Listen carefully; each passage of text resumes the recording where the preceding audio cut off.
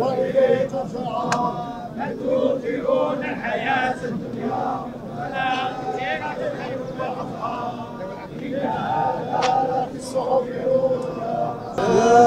أيها النفس المطمئنة إلى ربك راضية مطمئنة في عبادي وادخلي جنتي يا أيها النفس المطمئنة إلى ربك راضية مطمئنة في عبادي وادخلي جنتي الله العظيم الذي أفنى حياته للدفاع عن حوزة الوطن وعن استقلال المغرب.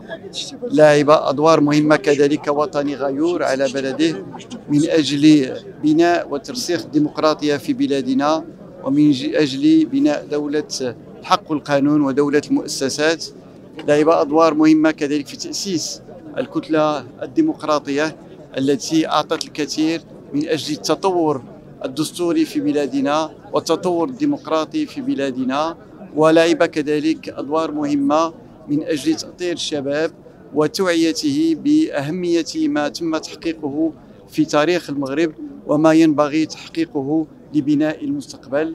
فتغمد الله سبحانه وتعالى الفقيه العزيز. سي محمد بن سعيد يتجدر يغادرنا اليوم إلى دار البقاء وهو من الهامات الوطنية الديمقراطية الكبيرة والقامات السياسية التي بصمت التاريخ المعاصر لبلادنا. سي محمد بن سعيد يتدر كانت له إسهامات قوية في حصول المغرب على استقلاله. وفي مواصلة هذا النضال داخل صفوف جيش التحرير الوطني من أجل تحرير باقي أجزاء الوطن. كما ناضل وفي ظروف حالكة وظروف صعبة واصل النضال من أجل بناء المغرب الديمقراطي الذي كان هو وعدد من رفاقه الذين ينتمون إلى نفس الجيل والذين والذين ربونا على مثل هذه القيم. واصل النضال من أجل بناء الحرية والديمقراطية والتحرر في وسط مجتمعنا. وكانت له إسهامات أساسية في صفوف اليسار الوطني المغربي ساهم في تأسيس وقيادة منظمة العمل الديمقراطي الشعبي وفي تأسيس الكتلة الديمقراطية وفي المساهمة أيضا في بلورة جيل من الإصلاحات. التي كانت تطالب بها الحركة الوطنية والديمقراطية والتقدمية الوطنية وكان له دور أساسي في محاولة توحيد صفوف فصائل آه، اليسار. وهكذا ظل وفيا لمبادئه خلوقا متشبتا شجاعا جريئا يطرح قضايا هذا الوطن ويدافع عنها ويطرح قضايا هذا الشعب ويدافع عنها. وسيترك في ذاكرة الذاكرة الجماعية الوطنية بصمات لا تنمحي قلنا كلمة نعي في حقي. في حقي هذا هذا مناضل وطني تقدمي يساري ناضل من أجل تحرير ووحدة الوطن وناضل من أجل ديمقراطية وبناء المؤسسات ديالو وناضل من أجل قيم اليسار العدالة الحرية المساواة. الرفيق آه، بن سعيد يتدار وقام من قامات اليسار آه، الديمقراطي التقدمي بالبلاد ديالنا. آه، افتقدناه افتقدنا المناضل اللي جمع بين أجيال جيل الحركة الوطنية والمقاومة وجيل ديال اليسار التقدمي الديمقراطي واللي قدم إضافات نوعية في مجال الحقل السياسي بمصداقية وأخلاق عالية يشهد له بها الجميع. آه، بن سعيد يتدار المناضل اللي فيه كل الصفات الصفات الإنسانية الرفيعة في الاختلاف وفي آه، إدارة آه، الصراع. وكذلك بن سعيد أيتدار المناضل الذي كرس حياته بكل ما لديه في التضحية وكان الثمن غالي من أجل مغرب ديال الديمقراطية وديال الحرية وديال حقوق الإنسان. بن سعيد لا ننسى كذلك أننا إحنا كجيل ديال الآن كان بالنسبة لنا نموذج ديال المناضل الملتزم ونموذج ديال مسار ديال المقاومة وديال النضال وديال غيرها من من.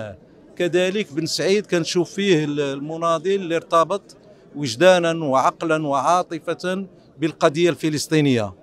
وكان في كل المحطات في تاريخ المغرب مساهما إما فكريا أو عمليا أو حضوريا في الرفع من شأن القضية الفلسطينية في بلادنا. لا ننسى كذلك أن بن سعيد قدم إسهامات كثيرة في المجال ديال الديمقراطية. أول من طرح موضوع ديال تزمامات في البرلمان المغربي في الوقت اللي ما كانش واحد العدد ديال البرلمانيين آه، يفتقدون الشجاعة والجرأة لطرح هذا الموضوع. وهو بذلك يكون ساهم كذلك في خلق تراكم في مجال الحريات ومجال ديال حقوق الإنسان. في الحقيقة خسارة كبيرة للشعب المغربي والقوى الوطنية والديمقراطية ببلادنا. سي محمد بن سعيد أيتدر قائمة الشهداء تاع المغرب تاع الوطن العربي والمغاربي.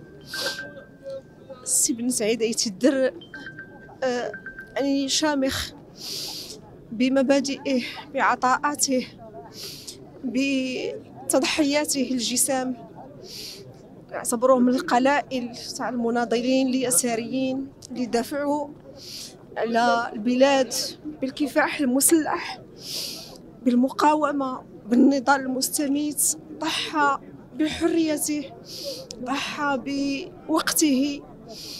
من أجل هذا الوطن الحبيب سي محمد بن سعيد ايتي الدر رفيق درب جميع المناضلين والمناضلات اليساريين أعطى الكثير وترك منجزات كثيرة من كتب ومحطات نضالية ومبادئ عامة. أدلى بدلوه في 20 فبراير للشباب وأعطى رسائل كثيرة للشباب 20 فبراير. اليوم يودعنا ونعتبره لا زال حيا بجميع هذه المنجزات آه، من آخر المقاومين في البلاد ربما هو آخر آه، لائحة التي آه، تموت اليوم ولكن كنعتبروه كنعتبروه شهيد للحرية شهيد للكرامة وللمساواة كان في الدفاع المستميت على المساواة الكاملة بين المرأة والرجل. وكان معطاء وحنونا مع رفاقه ورفيقاته. في كل المواقف كان دائما يعطي الكثير ولا يبخل بأفكار بمساهمات آه، يعني حتى على المستوى المادي. فهو من أطيب خلق الله. نتمنى أن يكون مثواه الجنة. وبأفعاله هاته وب آه، يعني إنجازاته هاته نعتبره مع آه، أهل الجنة. فتحية لكم ونتمنى الصبر لجميع أهله ورفاقه ورفيقاته. فهو إنسان جد متميز. نتمنى أن يكون خلفا مثله في شباب المغرب وشاباته. وهذا يبقى من المتمنيات لأنه من الطينة يعني آه، آه، طينة نادرة جدا. نادرة جدا لأنه هو مبادئه فوق كل شيء. فمبادئه العامة كانت هي النزاهة هي الاستقامة هي اليد الممدودة هي آه، السعي إلى الصالح العام. من من القلائل في المناضلين واليساريين. الذي لا يفكر إلا في الصالح العام. كل ما يتعلق بالصالح الخاص فلا يتدخل فيه نهائيا حتى مع أولاده. لم يكن يوما ليمد أو ليتكلم عن أحد من أجل أن يتدخل لصالح أسرته أو أبنائه أو إلا إذا كان هناك صالح عام فيكون شرسا في الدفاع عن هذا. ولعل أخير دليل هو من أنقذ مناضلين ومعتقلي تزممارت يوم آه، يوم فجر قنبلة تزممارت من داخل البرلمان أظن بأن السي محمد بن سعيد يعبر عن العبقرية المغربية. رجل أتى من رحاب سوس وتعلم اللغة العربية في في مراكش وانخرط في حزب الاستقلال ثم بعد ذلك في المقاومة وجيش التحرير كان حاضرا في العمليات الأولى لجيش التحرير من أجل تحرير الصحراء المغربية و يعني عاش أحداث إيكوفيون ولذلك له شرعية يعني فريدة فيما يخص الوحدة الترابية. طبعا كان حاضرا كذلك في محطات أخرى منها الديمقراطة منها حقوق الإنسان ولو أنه أدى ثمنا غاليا لأنه دفع إلى إلى المنفى وعاش بعيدا عن بلده إلى غاية الثمانينات حينما عاد يعني بمقتضى عفو عام وأنشأ منظمة العمل الديمقراطي. فمحمد بن سعيد هو ذاكرة ولكن أكثر من ذلك هو ضمير. ويشهد ذلك انخراطه في القضايا العادلة في الصحافة في الريف حقوق المرأة. ويعني ما يؤكد ذلك هو هذه الجنازة المهيبة في حق هذا الرجل الفذ. وفي هذه اللحظة لحظة الحقيقة نتذكر بأن الوطن واحد يعني بغض النظر عن المشارب السياسية أو حتى الفكرية. رحمه الله. على إثر هذا المصاب الجلال الذي ودعنا فيه شخصية فدة وطنية مقاومة إنه آه، الأستاذ آه، سي محمد بن سعيد أيتي الدر الرجل الوطني الرجل المخلص لمبادئه وأفكاره. وعلى إثر هذا المصاب الجلال نتقدم باسم حزب الشور والاستقلال إلى الأسرة اليسارية عامة وإلى رفاقه في النضال بأحر التعازي والمواساة داعين الله تعالى أن يتغمد الفقيد الراحل الواسع بواسع رحمته وأن يسكنه فسيح جنانه مع الذين أنعم الله عليهم النبيين والصديقين والشهداء والصالحين وحسن أولئك رفيقا وأن يلهم كافة أسرته الصغيرة والكبيرة جميل الصبر وحسن العزاء. إن لله وإنا إليه راجعون. شكرا.